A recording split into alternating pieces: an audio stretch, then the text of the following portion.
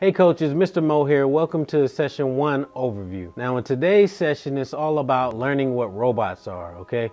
So we're gonna have a lot of uh, video on the front end where we're talking about uh, what a robot is, where we've seen some robots, uh, and so there are guided notes are also below this session video that you can use and pass out so that the kids can follow along and fill in some of the blanks as we go along. Now in preparation for this session, we're gonna need you to make sure that the Sphero Minis are charged up and that your Amazon Fire tablets are charged up as well and that remember that they're registered and that they have the Sphero EDU app installed on them. Now, if you haven't done that, go ahead and download those before the session today because they're going to need it to actually control the Sphero Minis. And so that's it. So you can print out the guided notes so that they can follow along.